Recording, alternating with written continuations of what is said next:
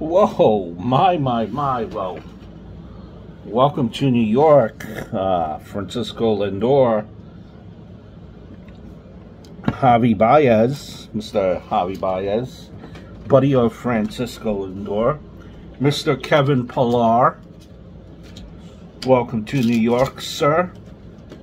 And uh, New York does things a little bit differently than um, other places. Perhaps you might need a, a little refresher course here.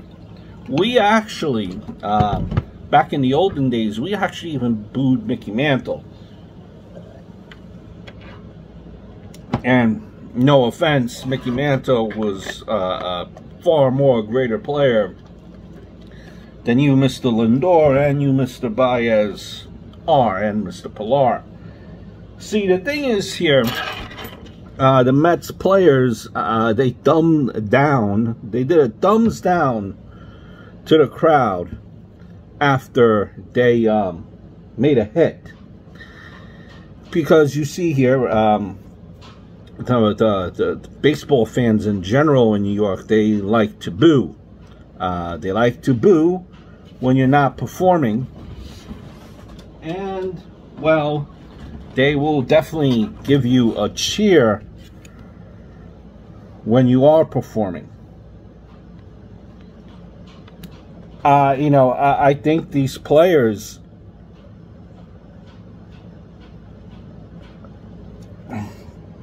not every player could play in New York. It takes a special type of an athlete uh, to play in New York.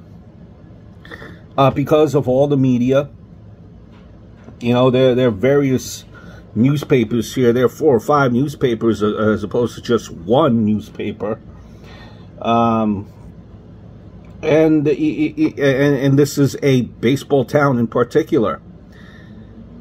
And the baseball players, you know, that, that come here from St. Louis or Chicago, for example, you're, you're not going to get booed in Chicago. Uh, you know, Javi Baez is not going to get booed in Chicago because he won the, the Cubs a championship. He's the toast of the town.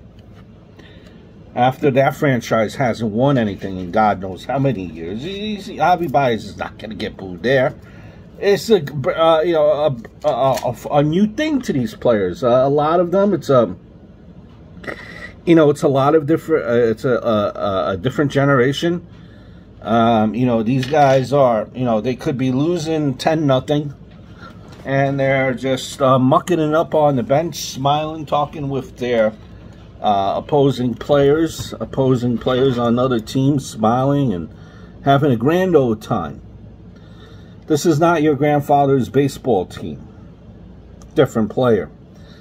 Imagine Shoeless Joe Jackson being topical since uh, we did see uh, Field of Dreams, uh, you know, in, in the game, the Field of Dreams game. Imagine Shoeless Jackson uh, interacting with a Javi Baez, who's mucking it up, giving the the, the, the fans a thumb down, a thumbs down. He'd probably tell you, you know, you know, I don't know if Shoeless Jackson really care for the fans either, but he'd probably tell you that your job is to perform. Your job is to go out there, hit be competitive, be aggressive, and be disappointed if you don't get a hit because that's what you expect, is you expect to hit. So the thumbs down, not a good look. And even uh, even so much not a good look, especially if you're even a Francisco Lindor who got all this money, who uh, who who wants to be the face of the franchise. He wants to be seen. He's uh, you see him in the uh, U.S. Open. Um, but I don't think he realizes the magnitude what it is to play baseball here, where they take everything seriously. Now he does. Now he does. And I don't know, and I worry if that type of player, if he could handle New York. Now, Baez and Francisco Lindor did come out and they did give you a an apology. You know, you could either choose to accept it and move on, or you could hold a grudge and hold it against them. Francisco Lindor is going to be here for the long term. You know, uh, New York expects results.